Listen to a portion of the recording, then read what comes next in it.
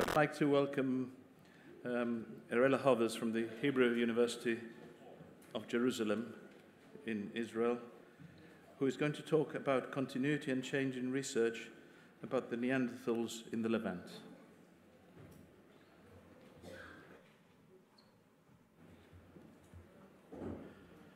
Thank you uh, for inviting me to this conference. It's my first time here, and I'm very excited. And uh, I would like to, well, first to talk about the title of this talk. Uh, what you see here is not a mistake.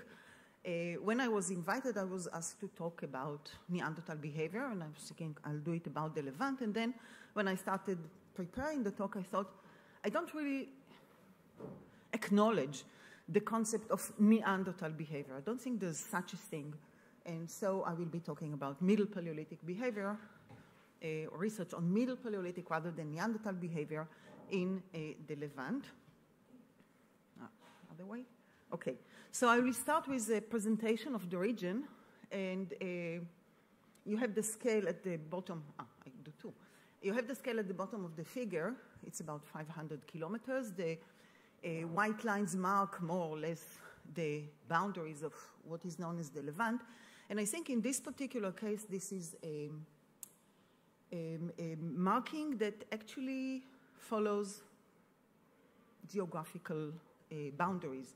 Uh, there's the sea to the west, there's the uh, desert uh, belt to the south, um, the rift, and a little bit beyond, and then you move again into uh, desertic areas, and then there's the high uh, mountains of the Zagros. So in many ways, this is really a confined, physically confined areas, the configuration of which would cause at least uh, um, occasionally problems for populations trying to move uh, from one place or the other.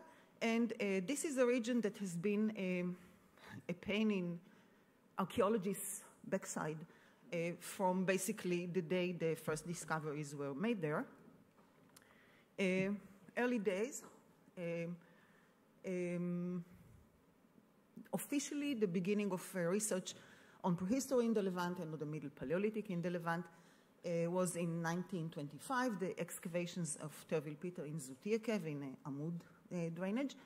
Um, the approach was totally Eurocentric because uh, Terville Peter, Garrod, Neuville, and other researchers, uh, Rust, other researchers who worked in the area were trained in, in uh, Europe, and that was the only paradigm that existed.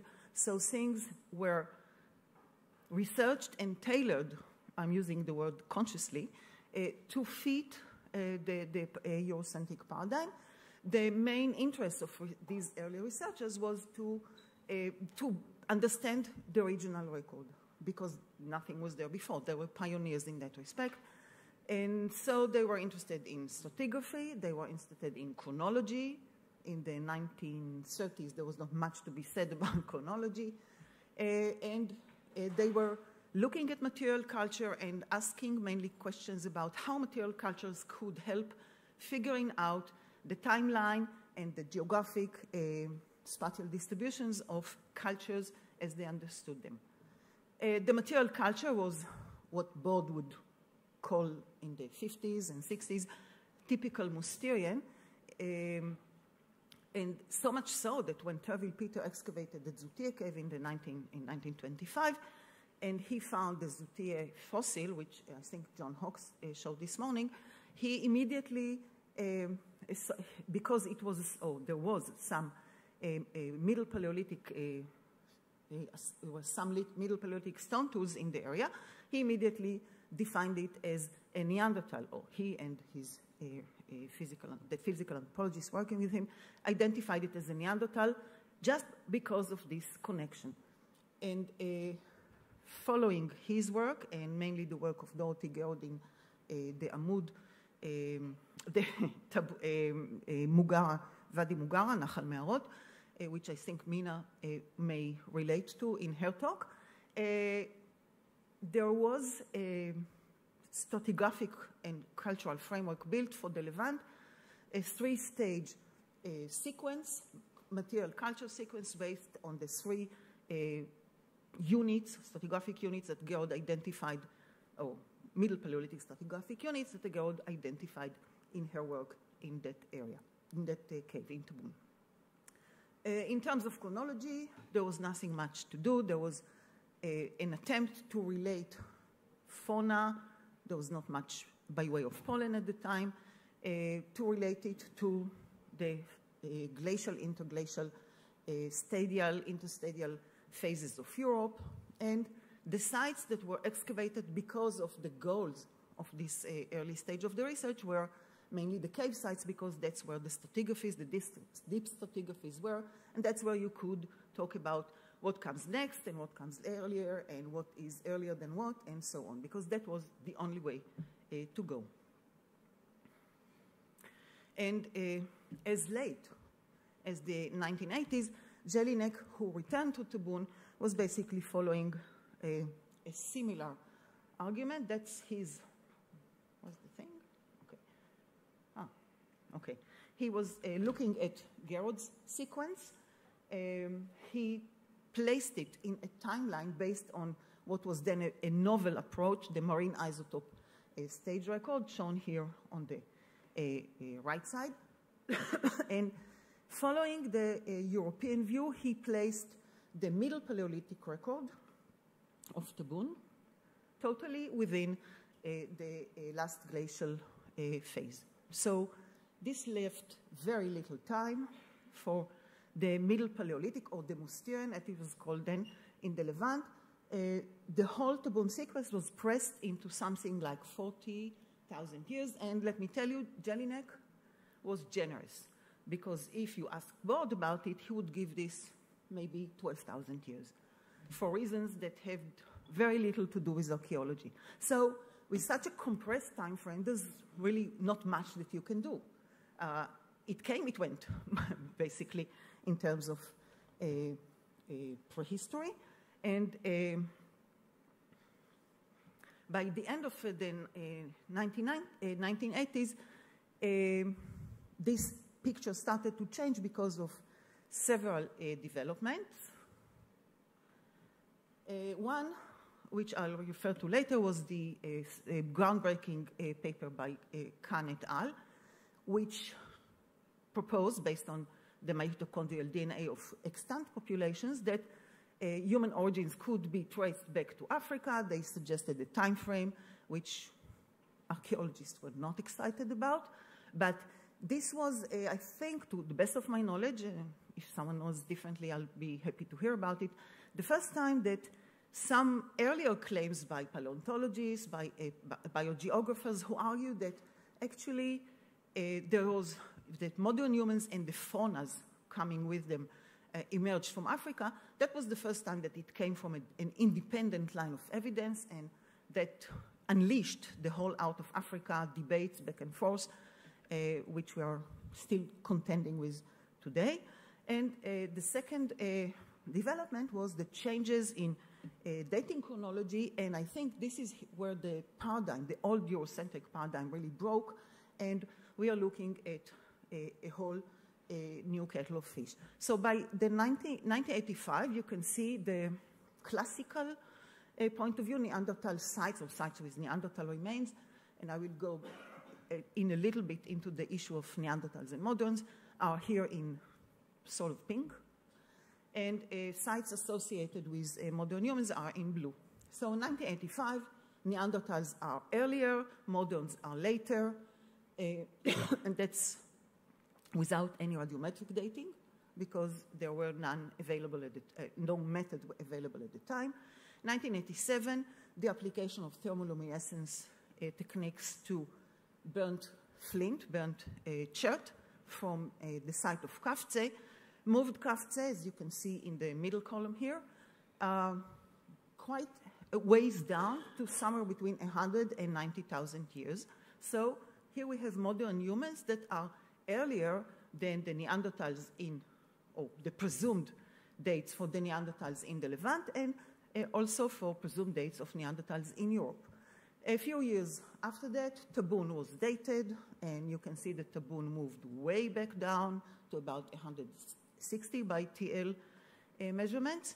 Uh, Qafzeh uh, and Skhul were dated to somewhere between 120, that's Skhul, and Qafzeh is about, as I said, 100 to 90. Uh, Kebara was dated to 60,000. Amud was not dated at the time, but it remained more or less in the same place. So there is really a big change here. We do have a, a proof that the relationship between Neanderthals and moderns, at least in the Levant and probably beyond, were not a linear pro progression or procession, but there was something else much more interesting uh, going on. And this is a partial picture of what we see today.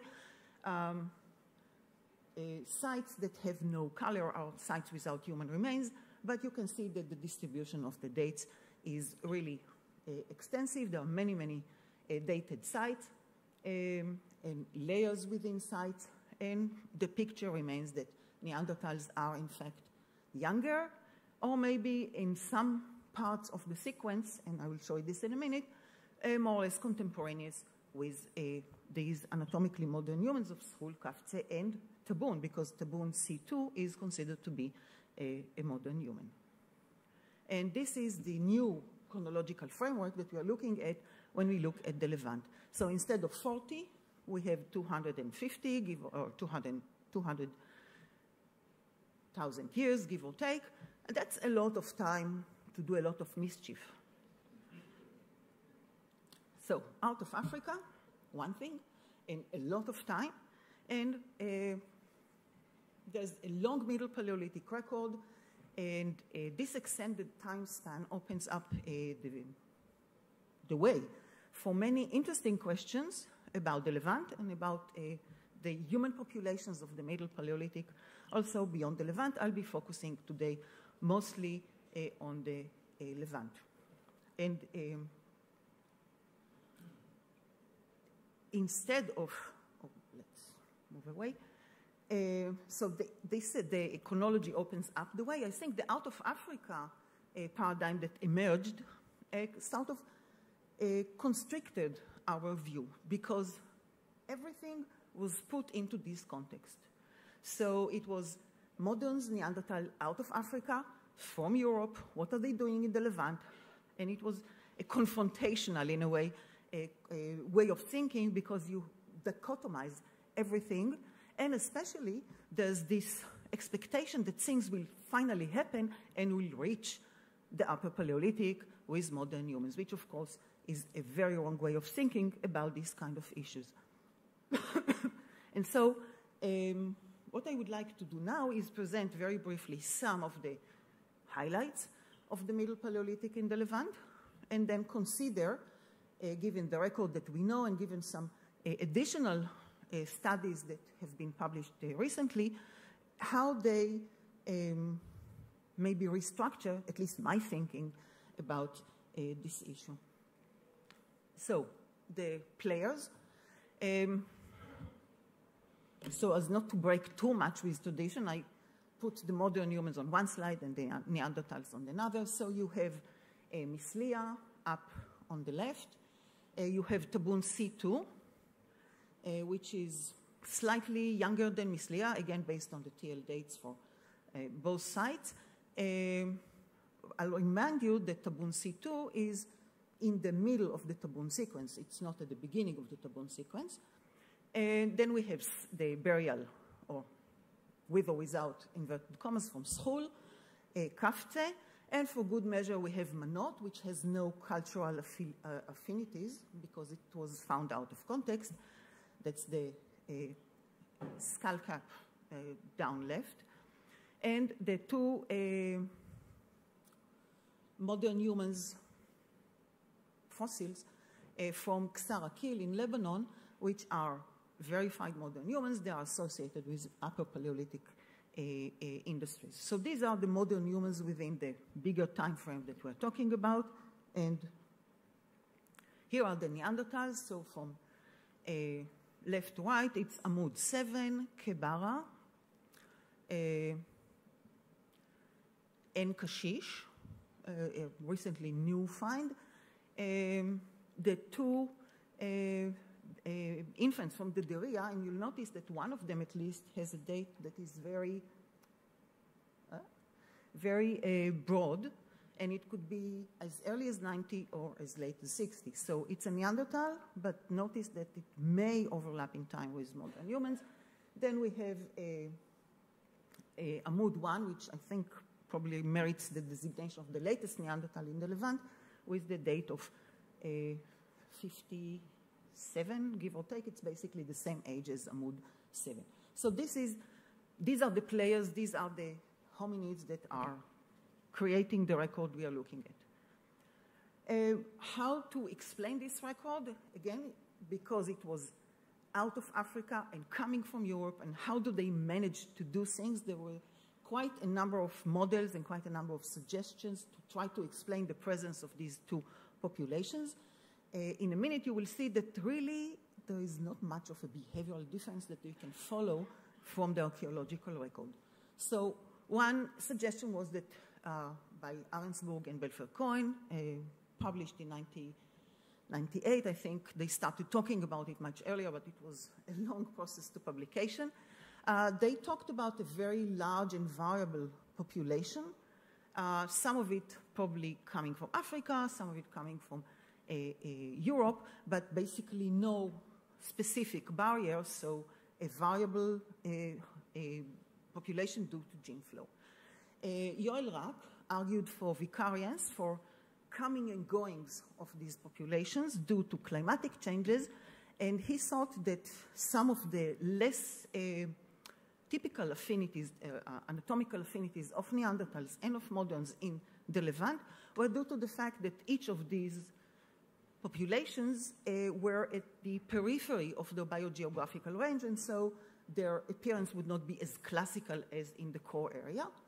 Uh, John Shea uh, advanced a, a climatically forced uh, extinction of one or the other population, not necessarily Neanderthals or not necessarily modern humans, due to severe climate changes in the Levant. So there would be just one group at the time, uh, or uh, another model of competition for resources, because as we said, and I think uh, we all agree that they really are not all that different. Um, I suggested at the time there was some coexistence uh, that could be extended or not so extended, uh, that was regulated by territorial mechanisms and uh, by cultural mechanisms that kept these groups more or less apart, not an easy fit in a region as small as we saw before. And um, before we move on, I would like to indicate that uh, so far we have had no luck with trying to extract the genetic material from any of the fossils uh, in the Levant. So in the place where it might be really interesting, uh, we cannot rely on the genetic data to tilt uh, the scale one way or the other. So we have to go to archaeological observation, uh, evolutionary scenarios, um, and common sense, I think, to, to make some sort of a, a, a scenario for the region. Uh, what do we have in terms of material culture? Uh, here I'm trying to show what was uh, extended from previous period, what extended into the Upper Paleolithic, what emerged during the Middle Paleolithic. So on the left you see the late Lower, lower Paleolithic, LLP. Uh, and some behaviors are really, it's really small, I cannot see what it says there. Some behaviors do extend from earlier into the Middle Paleolithic and obviously into the Upper Paleolithic, like the use of fire, the use of hearth. In the Levant, I, I know that it's a big issue in Europe. In the Levant, there's no issue. I don't know why. Maybe um, it kind of, it's kind of counterproductive given the differences in climate. But uh, as of 300,000 years ago in Qesem Cave, in uh, Misliya, in other places, people in the Levant, or hominins in the Levant were using fire like crazy. There's ashes, there's burnt material in almost every single site, definitely in the cave sites and in many of the open air sites. So in the Levant, there's no question that Neanderthals and modern humans and Middle Paleolithic hominins in general were using fire. So that's something that emerged before the Middle Paleolithic and continues. Uh, a, there are other behaviors like the use of blade technology, which continues but is very different from uh, what we see in the uh, a Acheulo-Yabrudian, the low, late lower Paleolithic of Qesem Cave, as opposed to what we see in the Middle Paleolithic, uh, in early Middle Paleolithic sites like Misliya, like Tabun, like Hayonim, etc. So the same final product being uh, achieved in very different ways. And of course, it goes on into the Upper Paleolithic, but again, in different ways. Um, another thing that continues is, uh, of course, food sharing, but again, based on the work of Mary Stiner uh, at Qesem Cave, she suggested, and it seems uh, pretty convincing based on her evidence, that the way that food, and she talks about fauna, the way that fauna is shared by uh, Acheulo-Yabrudian groups differed from what we see uh, in the Middle Paleolithic. So the Acheulo-Yabrudian were more independent folks.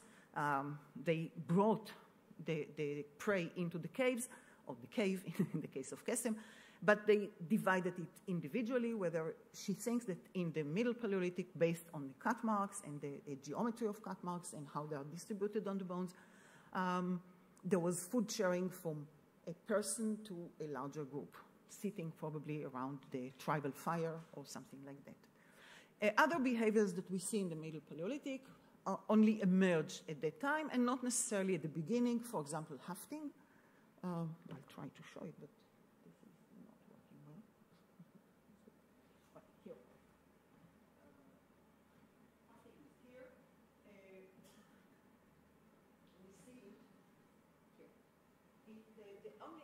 that we have is from late in the Middle Paleolithic in the shape of residues and some indirect evidence. I'll show it to you in a minute.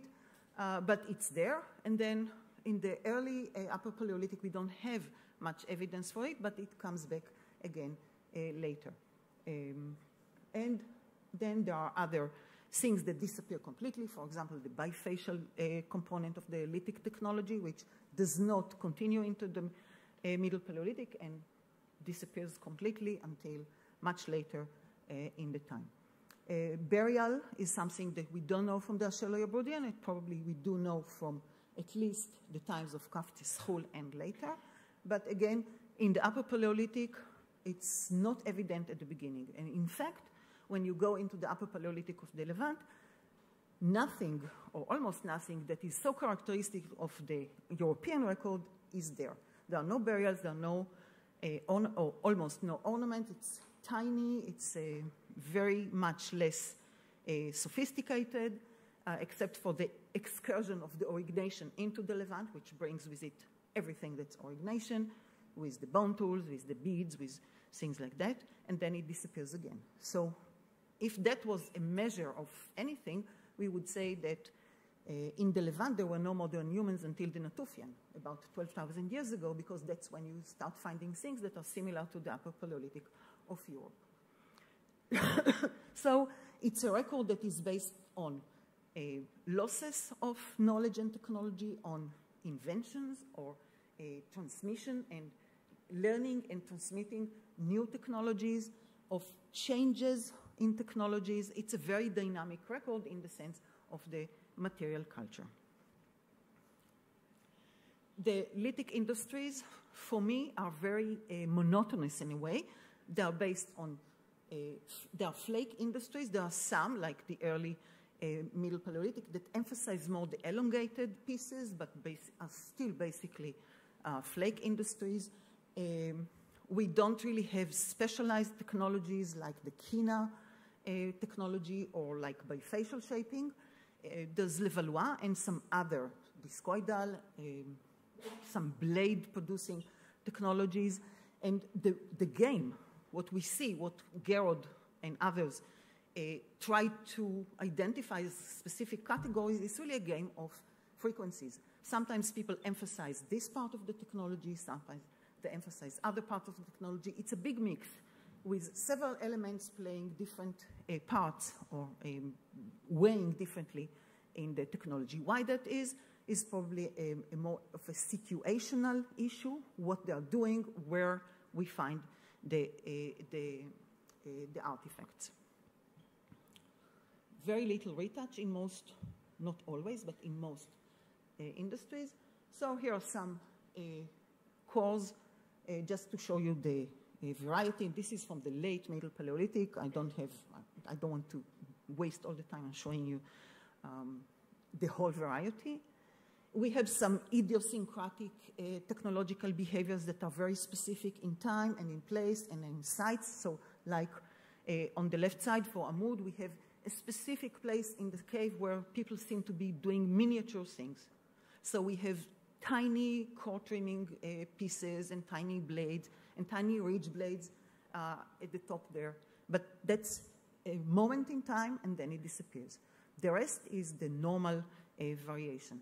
And we have at the end uh, in, in Qashish, there's a sort of a bladelet technology, which apparently is becoming more recognized now as research continues. But the general background is Levallois, discoidal, flake industries.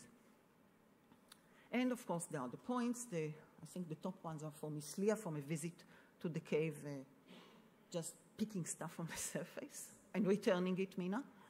And uh, some, uh, and some uh, uh, pointed uh, forms from the later Middle Paleolithic. So we have those two, but typically they are not the major component. So they are used probably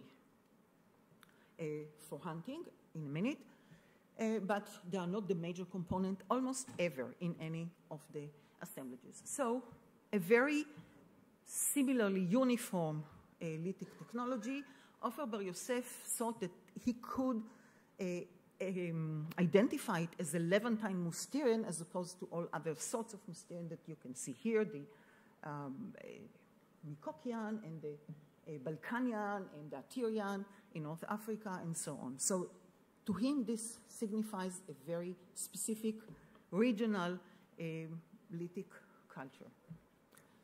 Faunal resources, as I said, not many changes between the various populations of the Levant, not really any huge animals. Um, so we have the gazelle, top left. We have uh, some deer, the fallow deer, the uh, red deer. Uh, the only large, or nearly only large animal that we find are the aurochs, the wild cattle, and those are found mostly in open air sites. Uh, you find a tooth here, a bone there. Uh, in the caves, people, uh, hominins, would not drag half a ton of animal into caves which are normally steep on the cliffs just for the meat. They would uh, cut, kill the animal, take off the meat, leave the heavy bones in the field, bring in the meat, and nobody would be the wiser when you excavate the site. But uh, this is something that we do see in the open air sites. So open air and cave sites sort of complement each other in terms of the uh, subsistence and settlement uh, system. Some evidence for hunting. This is from Syria, from Umm el Tlel, where a piece of arguably a Levallois point was found in, in the, I think it's a vertebra of a wild ass. Um, another aspect of the diet that people typically don't talk about, but I would like to emphasize, is the plant material. And I think we will hear about this from Karen, from Bruce, one way, one way or the other. Um, there are some sites where you find macrobotanical remains, like uh, the ones from uh, Kebara at the top uh, left, from uh, Douara cave in Syria, which is about, uh, it's an older site, more or less uh, the age of Misliya, of Hayonim. And uh, recently, because again of technological advancement, we have a, a, lot of phytolith evidence from sediments, and you can see a very rich world of uh, plants being used for food, but also for other uh, things like uh, um, bedding in Tor Faraj in uh, Jordan, suggested for Amud, not as clear as in Tor Faraj, I think in Mislia, although I, I, was not clear whether that was phytoliths or physical remains uh, for bedding. Mina? Physical remains. Uh, uh, and some other things. So definitely plants are playing a role, which is logical, and everyone would think, who thinks about it would say, yes, that's the case, but we are looking for the evidence. Uh, and the fact is, and I think some people alluded to it in their in previous talks, that um, really there's no way that people can eat meat, meat, meat, and meat as sometimes claimed that Neanderthal have been doing and stay alive. Uh, you need some other things, and these other things come from plants. And in the Levant, even more than in Europe, you'd expect this to happen. And we do find the evidence. I think the more people look in the sediments, you find more of the plants, and you can tell by the various anatomical parts of the plants and so on what they might have been used for. And sometimes, in fact, what they were used for, well, you have the botanical remains. Oh, sorry, that's a leftover. Hafting, I promised there's some evidence. So this is direct evidence from Hummal, from Umm There's bitumen used as hafting material. And um, we just need to think about the investment of energy and work in preparing the, uh, the glues, the, the bitumen, to be used as hafting. So it's not just the hafting, it's the whole technological process that is involved in preparing these hafting materials. We see evidence here. We have no idea who the hominids were. We don't have physical remains here, oh, uh, fossil remains.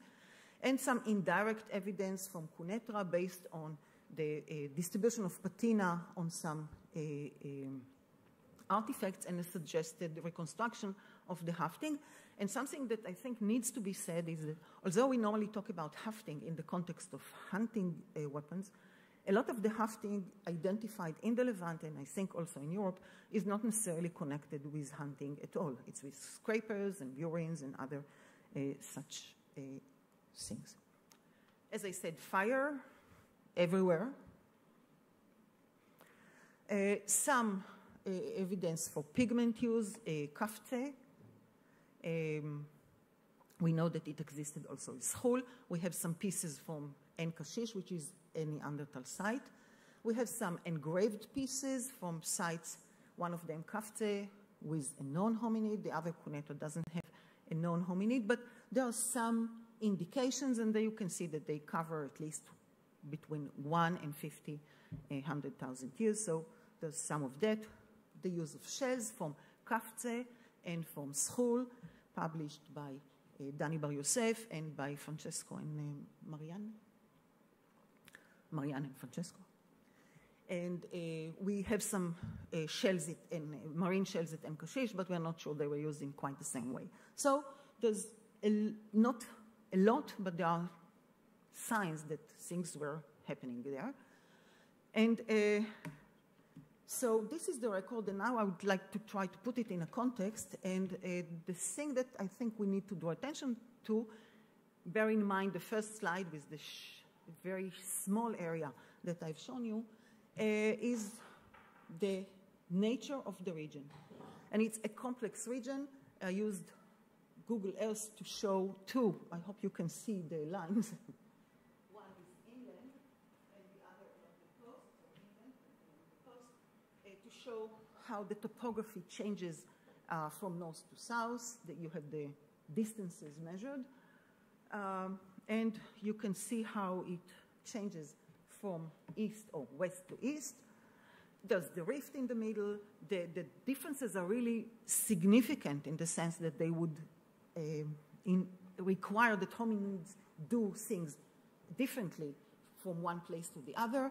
It's a complex terrain, and complex terrains do generate a lot of biodiversity. As recently pointed out by Badgley and al, and I think Geoff uh, uh, Bailey has been working along similar line with his group, showing that complex terrain, tectonics, faults, uh, topographic differences create interesting uh, uh, topography that produces interesting and plentiful and diverse resources. And when you combine it with complex climate systems, such as the ones that we have in the Levant, where the Siberian system, the Atlantic system, the monsoon, system, and then some others all interact in quite diverse, dynamic, and not always expected ways, then you get a region that has a lot of biodiversity, a lot of affordances, a lot of resources. It becomes a region that where people or hominids can move around. They can move from north to south, from east to west on small scales, on small geographic distances, and move from one ecozone to the other quite easily or quite fast, maybe not easily, but fast. So this is attractive. And this is also a landscape that calls for um, invasion of species. We, uh, there is a, this is the botanical distribution today, which probably uh, more or less mimics or shows what things were in the past. So we have the Mediterranean zone along the Mediterranean line and on the high plateau uh, east of the rift. We have the rift itself, which has a tropical environment almost all the way up north. And then we have the mountain ranges, uh, which kind of play the ecotone between the two. And as you move south, you go into more and more arid environments, which would require more planning and more elaborate uh, use of technology, movement, settlement systems, and so on. So it's a small region, it's very diverse, it has a lot of affordances, and because of that, it probably also uh, brings in invasive species. It's a fluctuating resource model.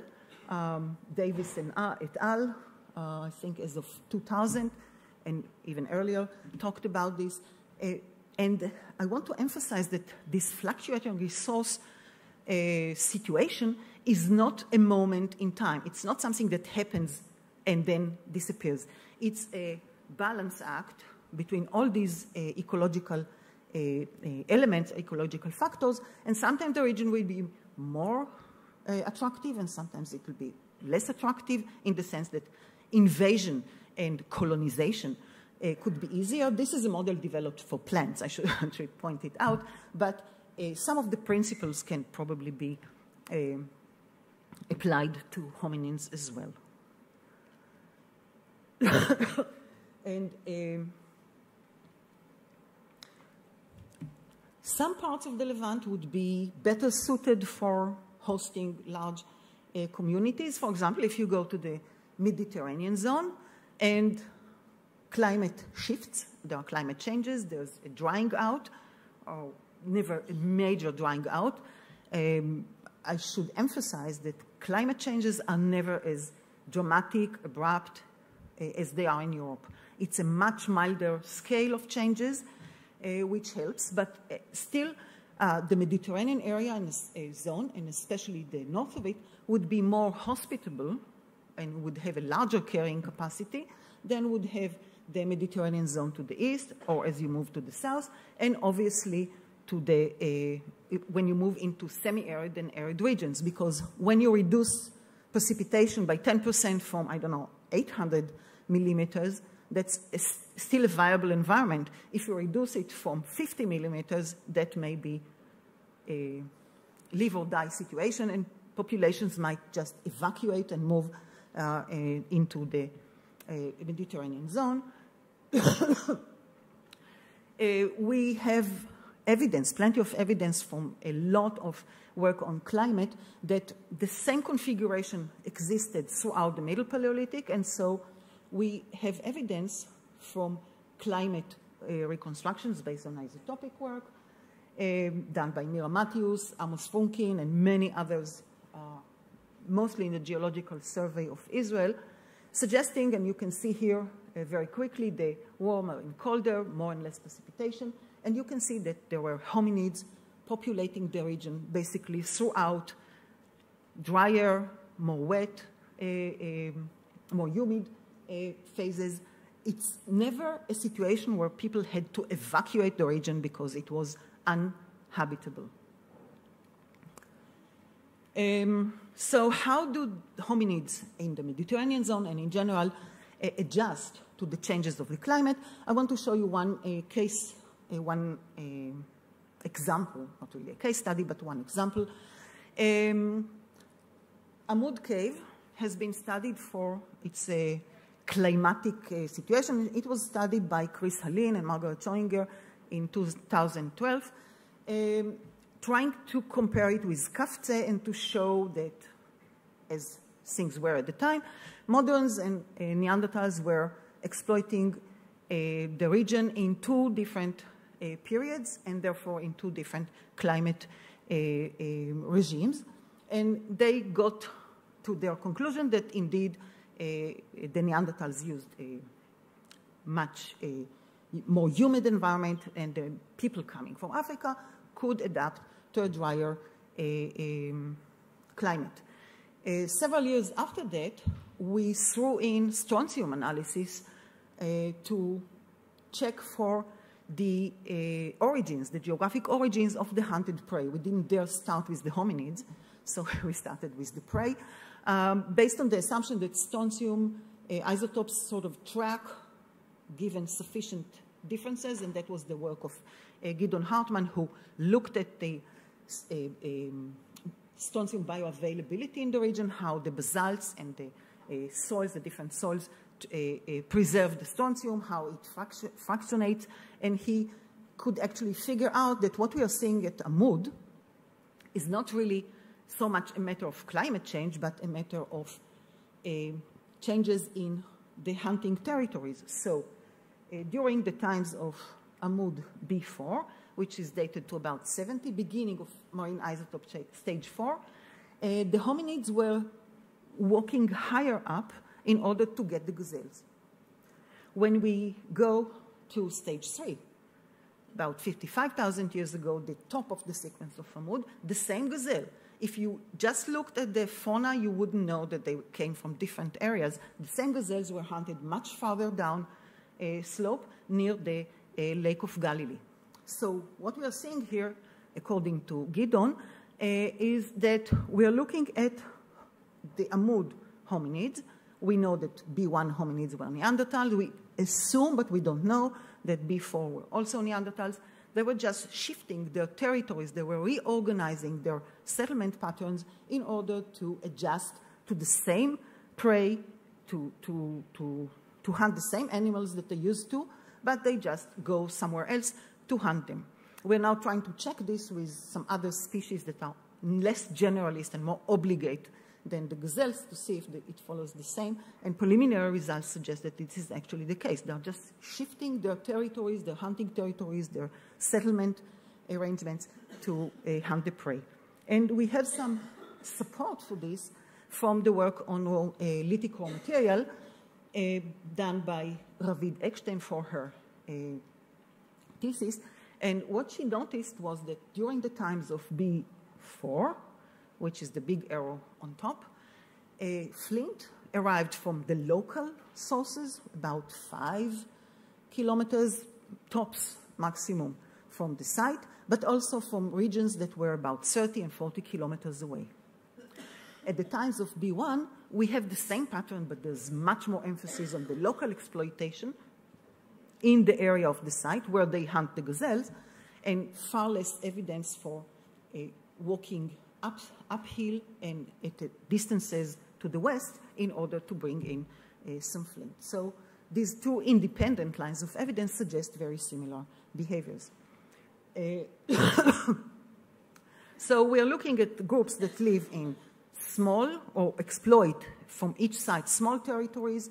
Uh, John and I, some, uh, some years ago, we played with numbers just to see what could, uh, what could be the situation, the pecking of, of Neanderthal groups on the landscape. And John came up with some numbers, I think it was from California, um, some numbers of similar or relatively similar Mediterranean uh, uh, climate uh, to show how many people could be supported by a certain area.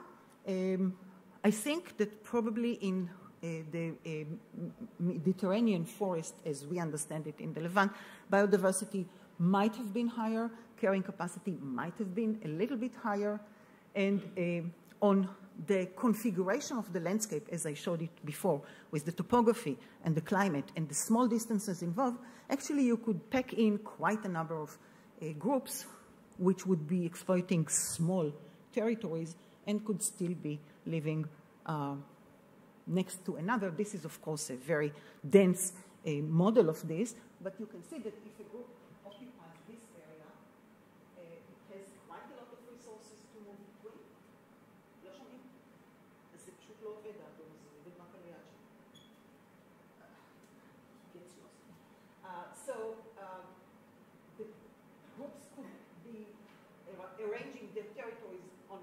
west-east uh, axis and exploit quite a number of environments, and they could move uh, north and south and change with seasons, with precipitation and so on, and still be uh, within a pretty small area. Now, this does not ver work very well when you speak, when you think about moderns and Neanderthals and how they can live in such a small territory. But we did hear that uh,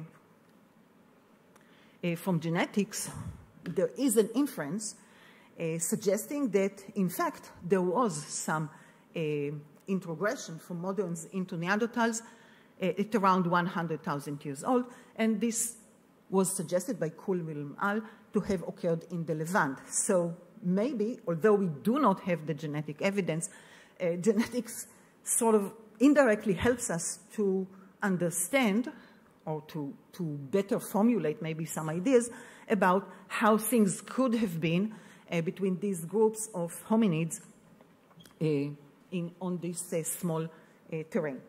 Um, flint sourcing again comes uh, as another line of evidence suggesting small territories exploited by these hominids.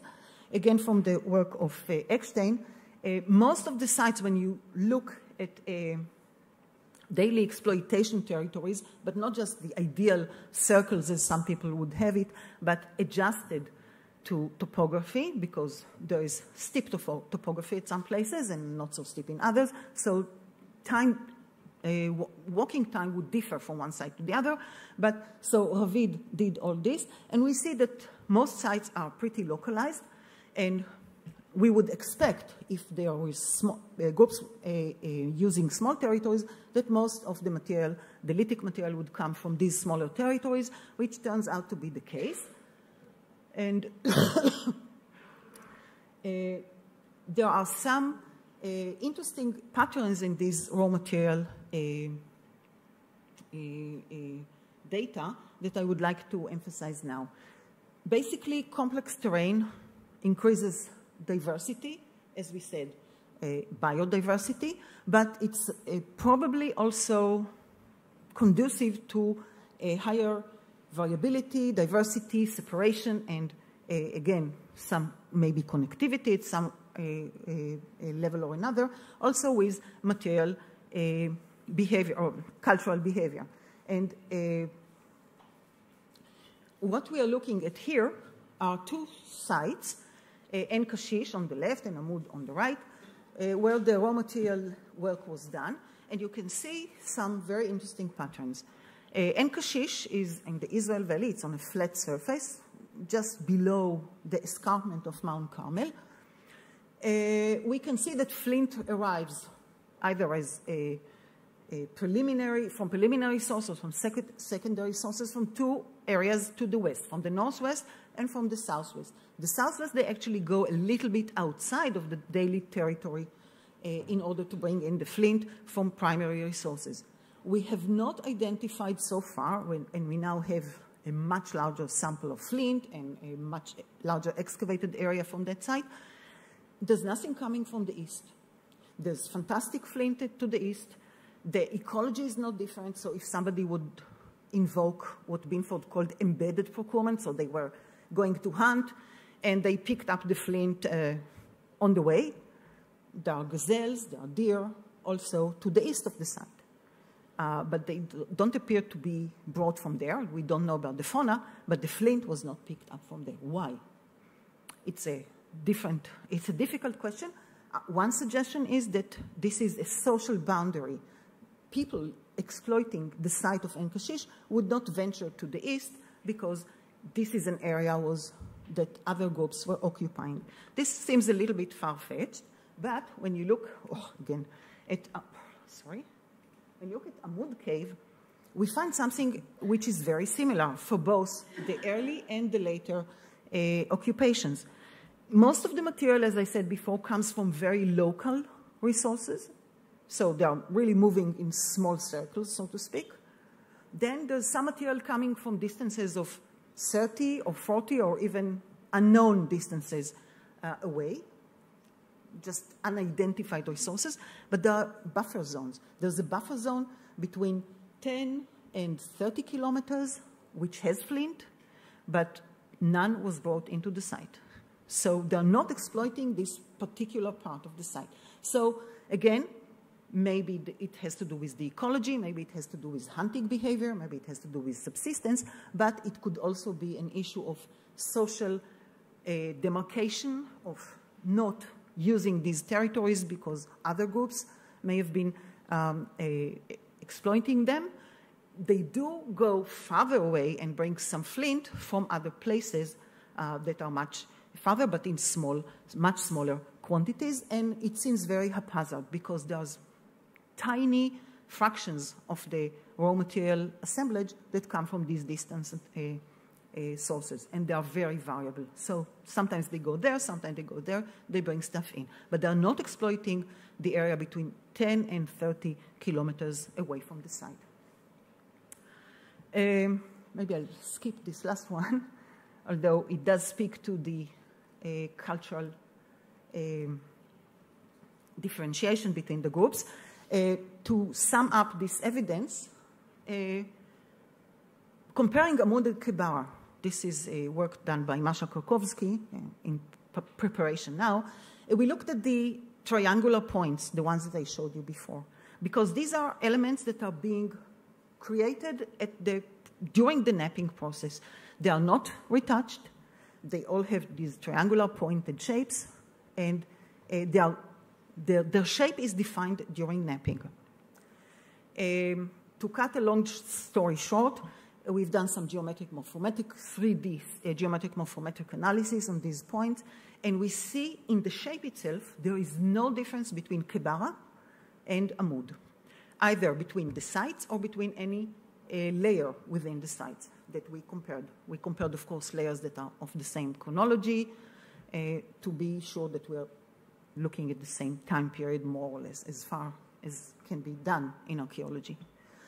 Uh, when you look at the specific way, the technological uh, gesture, the technological um, ways of preparing these points, you see differences. Kebara shows a very standardized way of making things, so it's a very real tradition to make this one point, the shape of which is exactly the same as at Amud.